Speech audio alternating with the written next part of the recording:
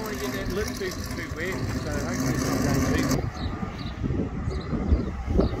too